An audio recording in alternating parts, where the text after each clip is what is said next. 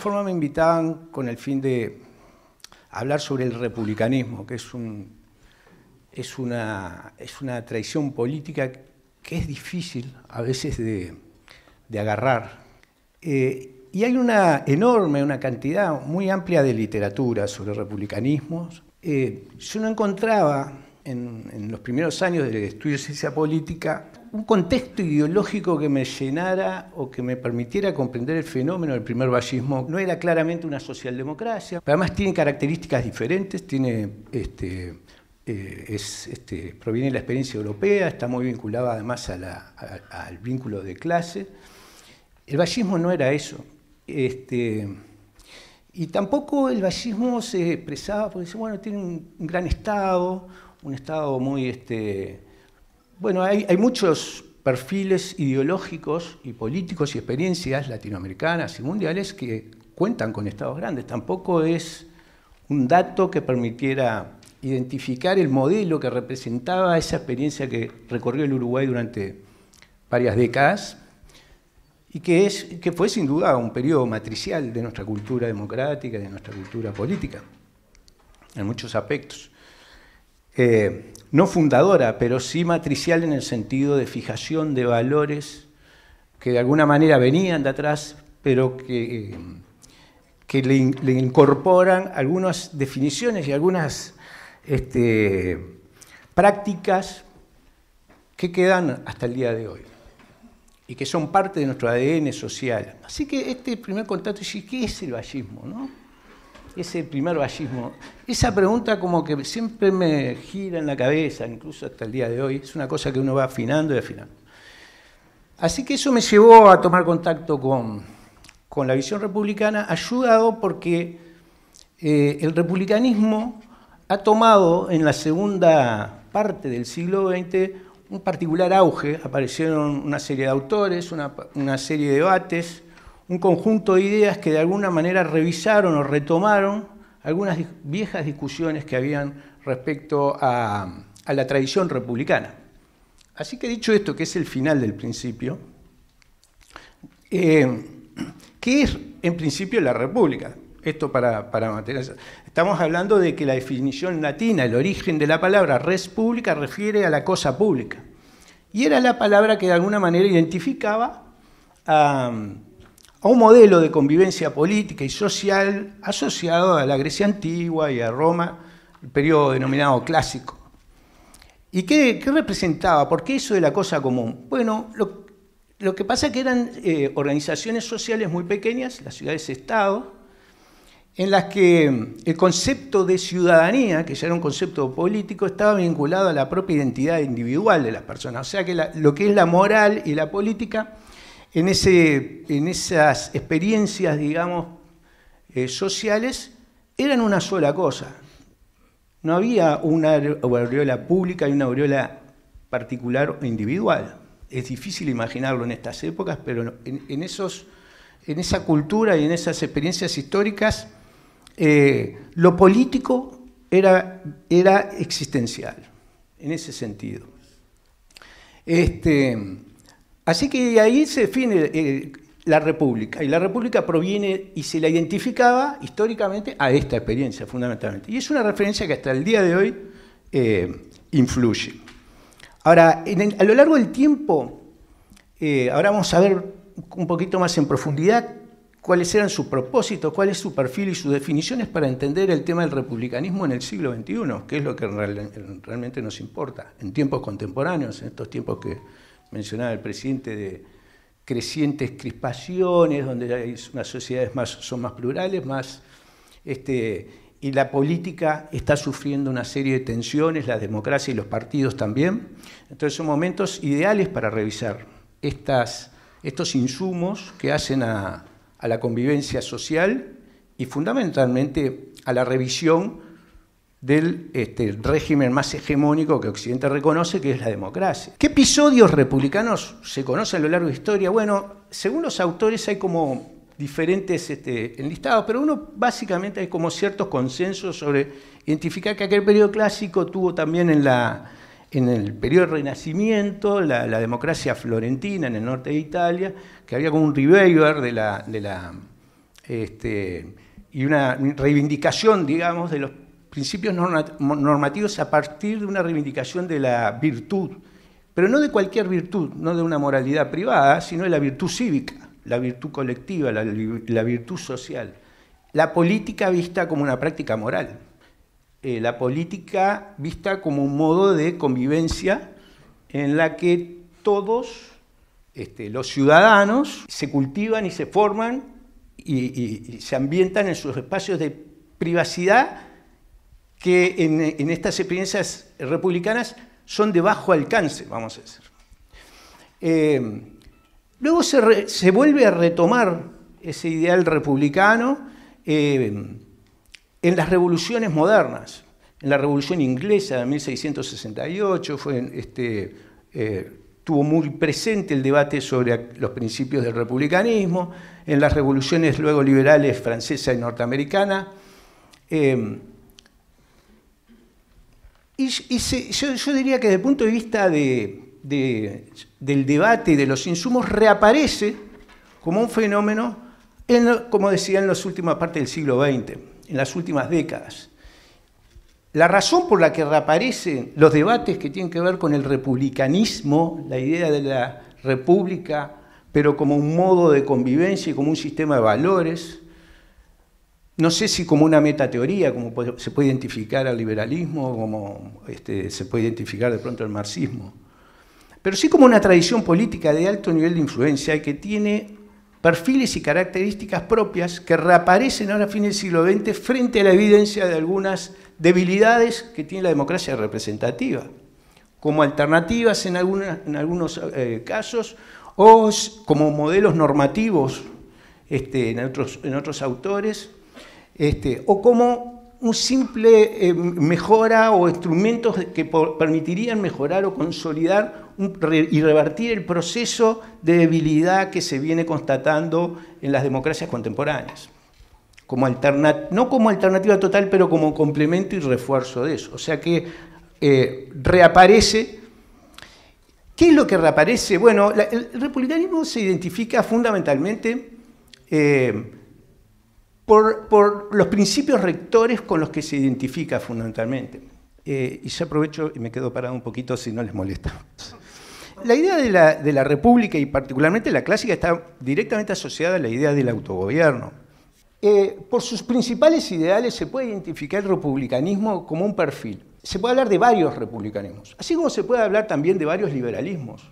De hecho, se puede hablar también de varios marxismos.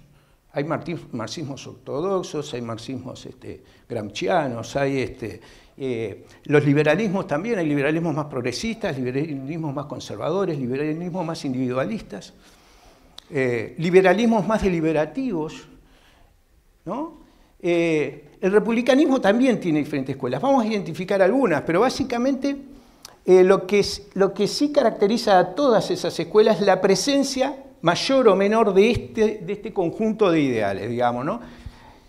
Esta idea de libertad individual como no dominación, en realidad esta es un aporte más del siglo XX, de Philippe Petit, que incorpora esta idea y que y de alguna manera empapa a la comunidad académica que, que, logra, digamos, centralizar, discutir sobre este aspecto de la no dominación, que lo presenta como una concepción de libertad individual diferente al liberal.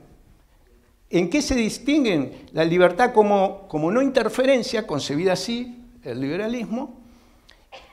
Esta se define como no dominación, que es no interferencia en las decisiones de cada individuo. Esa es la libertad, que, que sea la el individuo tenga la capacidad de decidir lo que él desee sin ningún tipo de interferencias. Esa es una división típica liberal, una, la libertad clásica, por decirlo de alguna manera. Esta idea de libertad de no dominación implica también que esa libertad, esa capacidad de decidir, se expresa por los condicionamientos que hacen a esa decisión. Ya no alcanza con que nadie interfiera en mi decisión, sino que además eh, tiene que ocurrir que se den las condiciones para que yo pueda tomar la decisión de manera libremente. ¿no? El ejemplo que usa Petit clásico, que es un poco extremo, que se refiere al esclavo. El esclavo, ¿no? que, es una, que sería la expresión más radical de lo que es la no libertad, eh, que es la dependencia total, eh, pero de pronto con un amo humano y condescendiente y, de buenas intenciones, puede y le permite tomar algún tipo de decisiones al esclavo. ¿no? Eh, pero la esclavitud en sí mismo, para esta concepción de la libertad, no alcanzaría con que no interfiera, con que el patrón no le impida tomar decisiones al esclavo. Ya el propio, la propia institución de la esclavitud condiciona la toma de decisiones del esclavo. No sé si se entiende la idea. Es un ejemplo extremo, pero que permite visibilizar la importancia que tiene, qué es, es sobre lo que yo decido. Si decido yo, la persona que está en seguro de paro, ¿puede decidir y hablar en las mismas condiciones con su empleador? Eh, hay condiciones y relaciones de poder, relaciones de dominación que hacen y que condicionan eh, las decisiones que puede tomar un individuo para su, a su mejor parecer y para su propia felicidad. Ese es como un primer corte que está muy asociado a esta idea más moderna del republicanismo contemporáneo. El concepto de virtud cívica está presente en todas las corrientes. La virtud cívica se, trata de eso, una moralidad que reconoce como bueno, premiado, digamos, por la moralidad social y por la ética, en el sentido del bien hacer aquel que se compromete con lo de todos, con lo común, con lo que es este, el espacio donde todos decidimos sobre las cosas que nos incumben. De manera que eso es bien valorado y es pretendido, de alguna manera identifica al republicanismo con esa idea de la práctica política. La política es un poco hija del republicanismo. Y es muy característica la acción política. ¿no? Distinto como por ejemplo lo puede percibir el marxismo, ¿no? ¿Qué es la política para el marxismo? Eh, para el marxismo es la superestructura, no cambia la realidad. La política es solo eh, el relato o la retórica que disfraza una realidad que está en el fondo, que es aquella relación de, que establece las relaciones de la propiedad. Se dan cuenta que la política cumple un rol distinto en función de estas perspectivas. Eh, la idea de autogobierno, esta idea de autogobierno que está eh, referida a esa concepción de la democracia directa, la idea de que todos estamos en condiciones de gobernarnos a nosotros mismos, que tenemos todas las capacidades y la información necesaria y que podemos decidir. La idea es, percibe a un ciudadano muy optimista, un ciudadano con, con condiciones. Esto era característico de aquella clásica, del periodo clásico del autogobierno, donde efectivamente... Eh, los ciudadanos compartían y decidían colectivamente por sorteo, asumiendo responsabilidades de gobierno, de gestión de gobierno, sin importar quién es la persona en sí misma, sino que la idea es que todos tenemos las capacidades para decidir sobre lo que nos influye, incluso todas las causas comunes y los espacios comunes. El ideal deliberativo, perdón, esto está asociado esto de la democracia directa a otro aspecto de la libertad, la libertad positiva, respecto a la libertad negativa, no la no interferencia ni la no dominación, sino la capacidad de hacer, la libertad de hacer lo que uno quiere. Y, está muy vinculado a lo relacional, por eso es una tradición política muy relacional, que está vinculado a lo social, a lo político, que está vinculado a la cosa común. El ideal deliberativo, para la toma de decisiones, la idea de que las buenas razones y los buenos argumentos permiten tomar mejores decisiones. Esto que bañó el republicanismo es retomado también no solo por el republicanismo, sino por el liberalismo y diferentes corrientes ahora en, los, en las últimas, en la última década particularmente del siglo XX, pero fundamentalmente en estas dos décadas que llevamos del siglo XXI, que es como una eh, inquietud desde el punto de vista académico en el sentido de que el, ideal deliberativo podría ser una solución parcial a algunas problemáticas que tienen las democracias contemporáneas. Claro, siempre se presentará el, debate de cómo se hace. ¿Cómo se hace para deliberar más, para conocer mejores razones, para discrepar menos, discutir sin razones, eliminar aquellos aspectos que están asociados a poderes fácticos e intereses, pero que conspiran contra el interés común. Los intereses existen, las sociedades son naturalmente conflictivas, pero las razones... Este señor Marco Argulló Pastor en el año 2015 su, su tesis doctoral, es un, un liberal que disputa la idea del republicanismo, la critica, dice, no, en realidad son ideologías que no, eh, que no son compatibles, y, es una crítica muy inteligente, muy fundada. Y una de las primeras cosas que hace es una revisión tanto de los autores republicanos clásicos como aquellos episodios históricos, y para eso los agrupa como en estas corrientes del republicanismo contemporáneo. Elige el enemigo con el quien discutir, digamos, con quien está debatiendo. ¿No? Hay una versión neo-aristotélica, más apegada a las versiones clásicas que refieren esto de la democracia directa, la práctica eh, de las razones. Esto viene muy de la mano de las promesas normativas de las nuevas tecnologías, Grompone y demás, en el sentido de que las nuevas tecnologías permitirían algo así como una especie de posibilidad de una democracia directa a través de que todos decidiéramos eh, sin intermediación problemáticas comunes y políticas por el hecho de que la tecnología lo permite.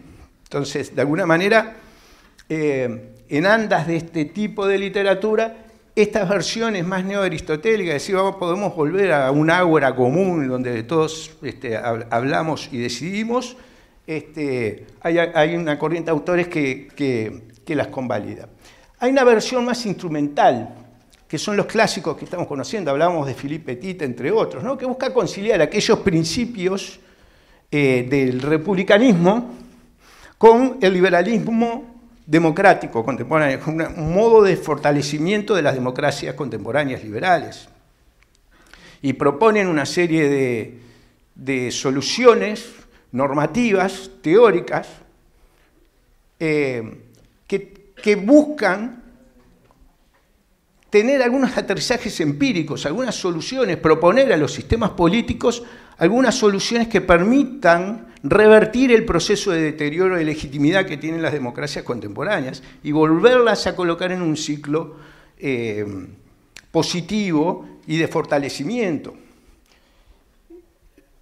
Después hay otra corriente más liberal, tipo Sunstein, por ejemplo, que fue un asesor de Barack Obama, eh, que plantea la idea de que eh, tomaría aquellos principios del republicanismo, ¿no? pero renuncia a algunos de ellos en función de que cumplan con los rigores y los principios de la democracia representativa y liberal. Básicamente el concepto de representación. Estas son como las corrientes que hoy están hablando de republicanismo.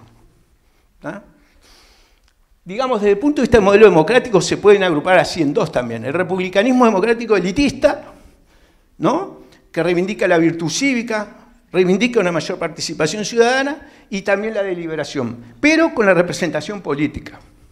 Y una vertiente de republicanismo democrático participativo y deliberativo, que no es que colida con la representación, pero que enfatiza las bondades de establecer procesos deliberativos. Es más importante la toma de decisiones que los procesos sean deliberados que se haga mediante una eh, negociación y votación solamente sin razones y sin reconocimiento público. Eso afecta fundamentalmente el tema de la legitimidad democrática. Por ahí viene la crítica de estos republicanos. Digamos, si, tuviéramos desde el punto de vista modélico, con todas las relatividades que implica establecer estas categorías fijas eh, solamente a los efectos de poder comparar qué podría distinguir un liberalismo de un republicanismo si hubiera que distinguirlos y separarlos. Ya vimos que hay autores que piensan que tienen grados de compatibilidad, que hay un liberal republicanismo, hay republicanismos liberales, hay autores que trabajan en términos de la compatibilidad de esto, y hay otros autores que los distinguen como dos tradiciones incompatibles. ¿verdad? Por ejemplo, en estas variables que, estamos, que pusimos acá arbitrariamente, hay otras, pero estas, por ejemplo, la libertad, ¿no? Como no interferencia decíamos, o como no dominación puede distinguir una tradición de otra. El ambiente de desarrollo, esta reivindica el liberalismo, la aureola de la libertad, de la libertad individual, en el ámbito de lo privado, mientras que el republicanismo reivindica esa libertad en los espacios públicos. El concepto de democracia, ¿no? La democracia es, en el, caso del liberalismo, en la versión clásica que hoy todos conocemos, que tiene que ver con la modernidad, con el desarrollo de sociedades, electoral y representativa.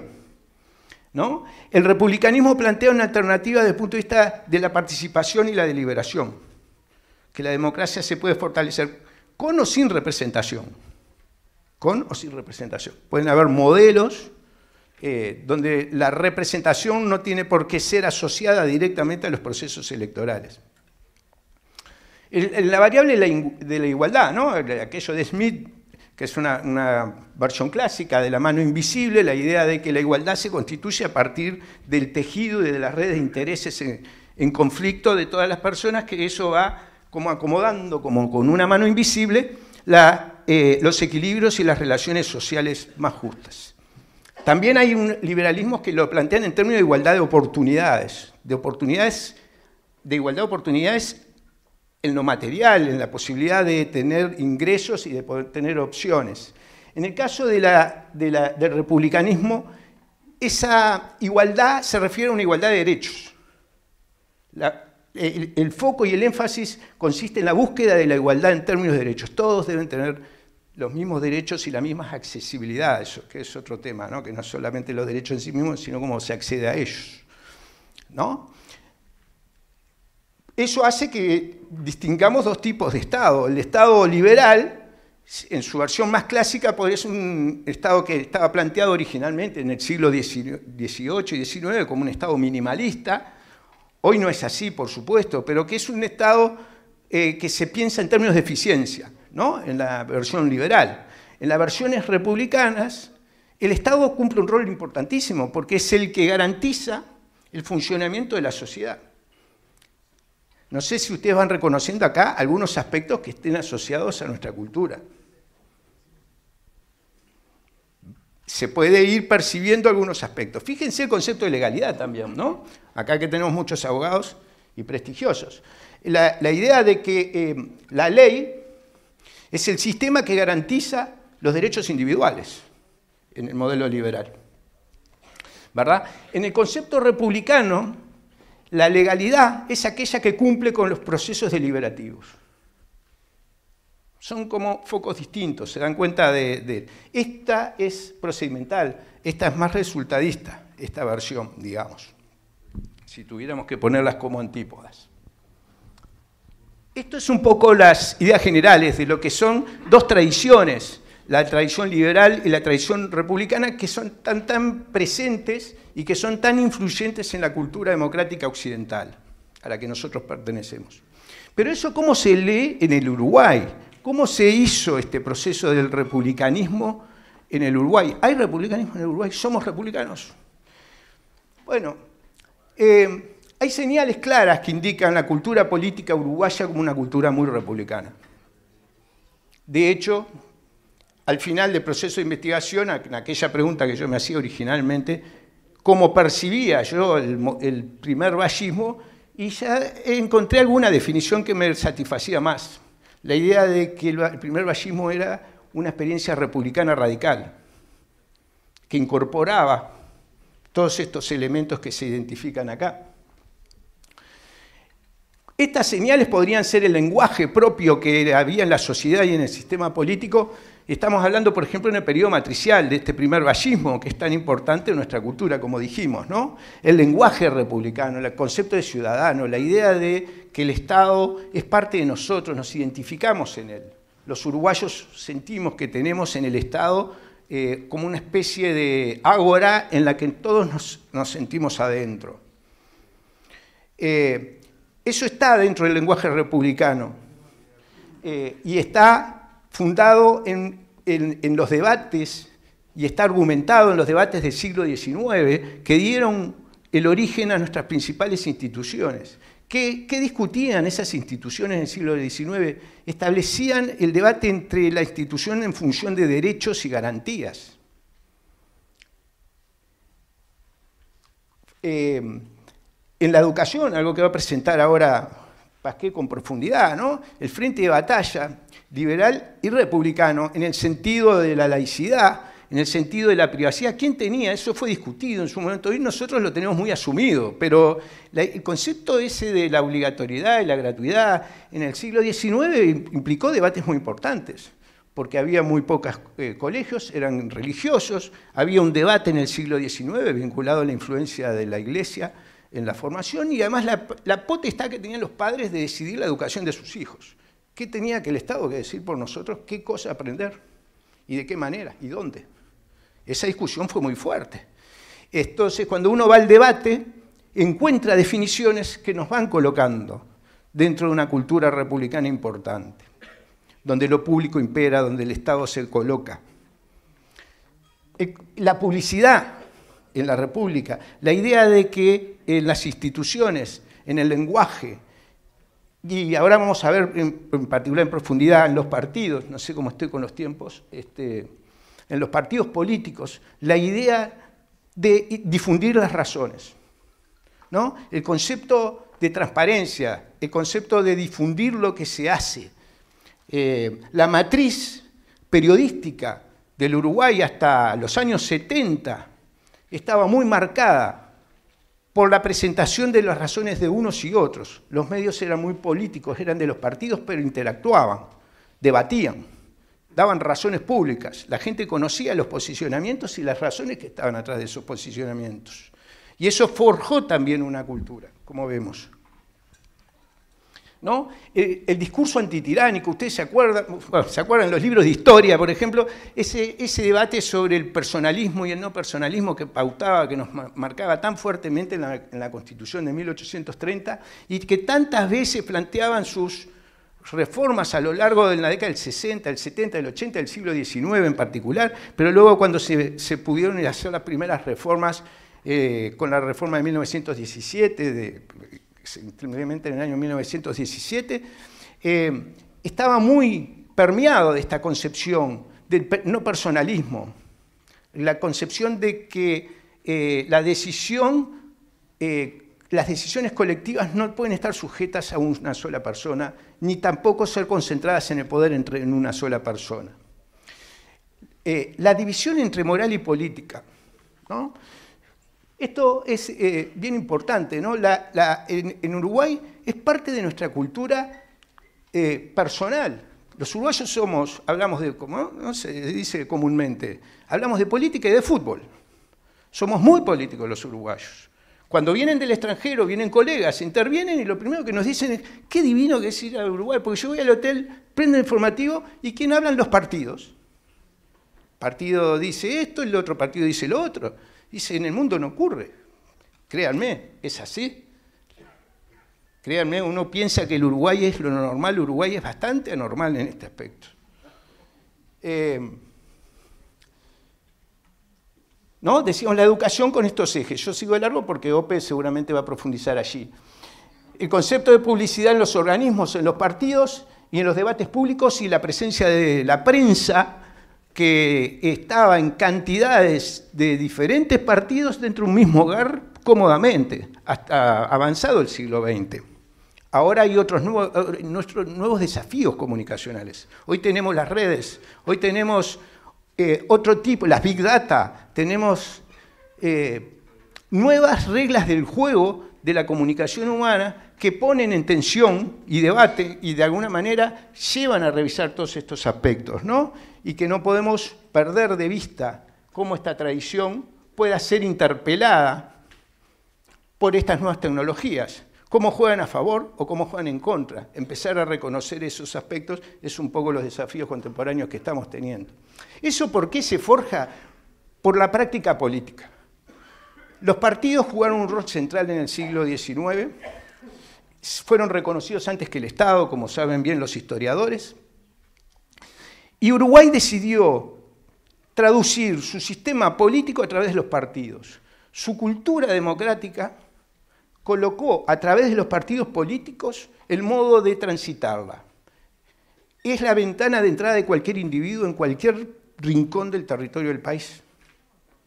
Lo fue ya fuertemente en ese periodo matricial del 900. Fíjense esta casa particularmente, este partido en particular, eh, el Partido Colorado Ballista, por ejemplo, que fue, un, como dijimos, un factor muy importante de influencia en nuestra cultura democrática, influyó mucho en su época, pero además influyó en la cultura general, influyó en el resto de los partidos. en, estos, en esta, esta caracterización. Valle Ordóñez escribe su primer artículo con una estructura de partido de estas características ya en el, proceso electoral cuando apoyaba al presidente Herrera, en 1880. ¿no? Eh, ya aparecía una, una... Herrera y Oves. Sí, perdón, perdón, Herrera y Oves. Sí, sí, muy bien el matiz así.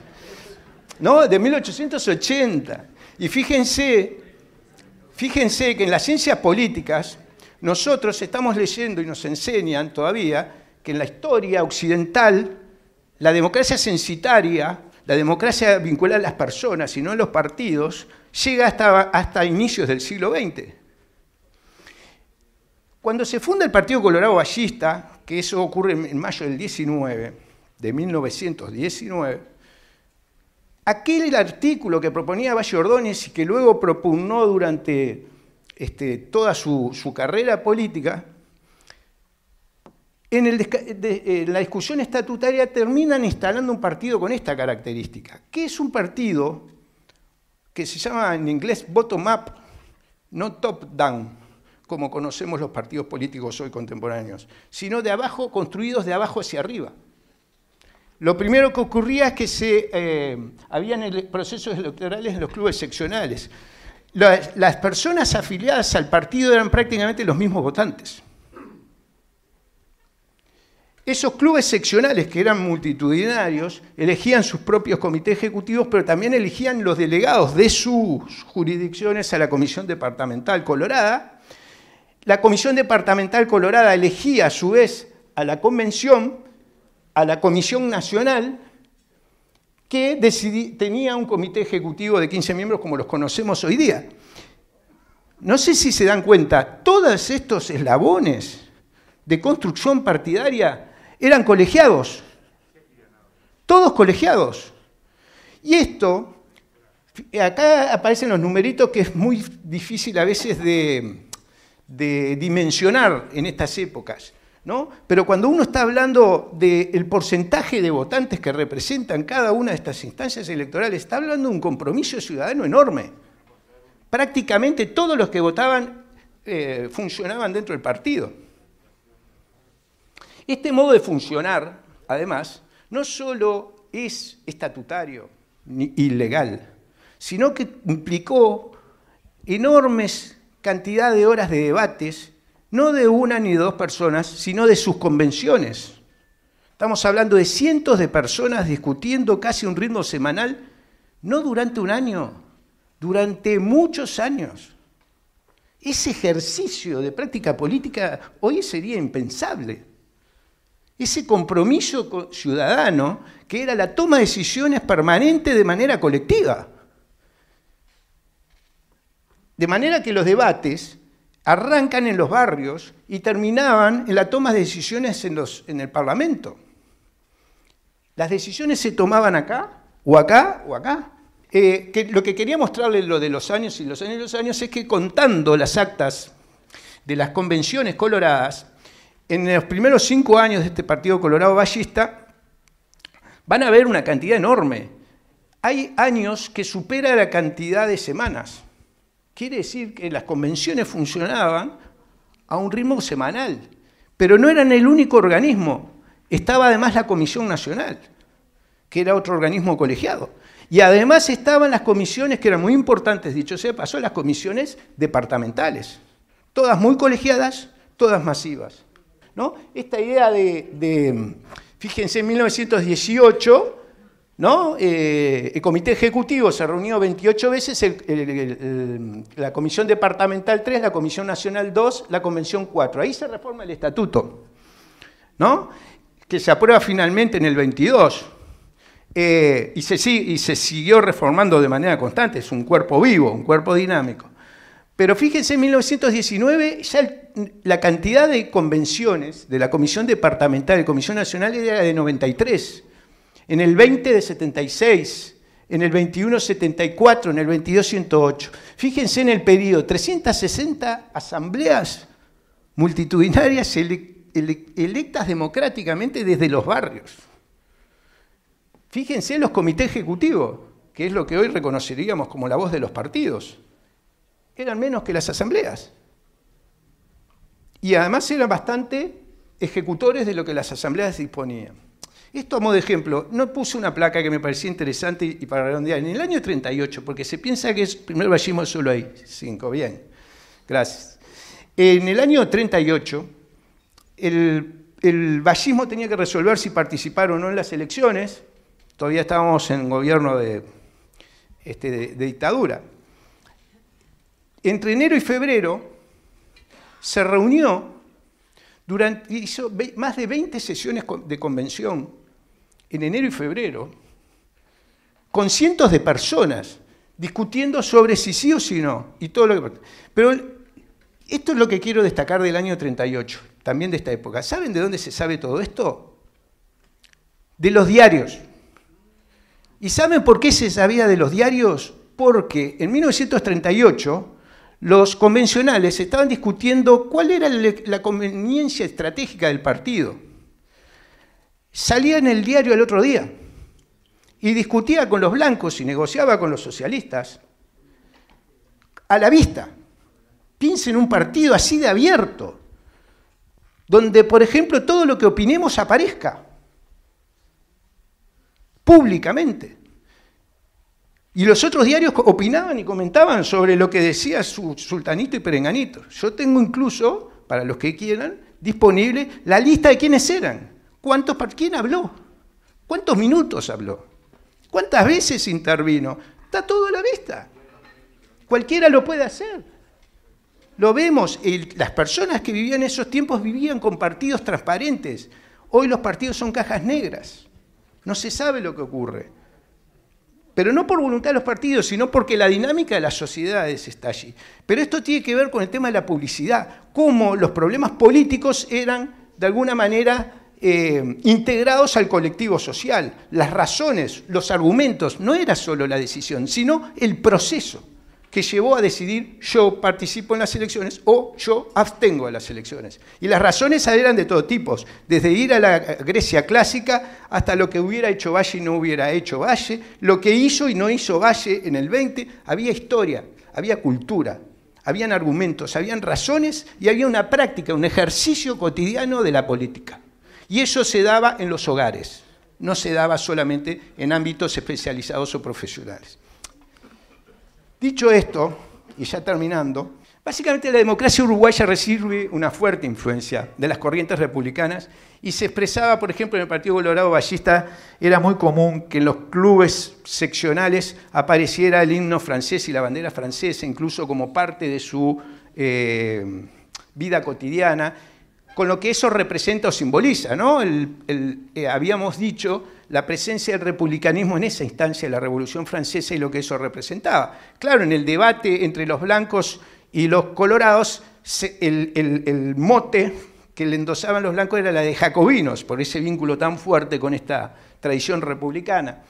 El republicanismo en el Uruguay convive con las tensiones del individualismo. En realidad, el republicanismo no es un modelo o una tradición política que busque la autocracia o el totalitarismo, sino que lo que busca es la convivencia entre los derechos individuales de las personas en ambientes y espacios comunes, donde los procesos y las razones primen por sobre las decisiones y por los empoderamientos. Todas las decisiones son válidas, siempre que hayan sido legitimadas en un proceso público de argumentos. Por allí es que transita esto de la tradición republicana.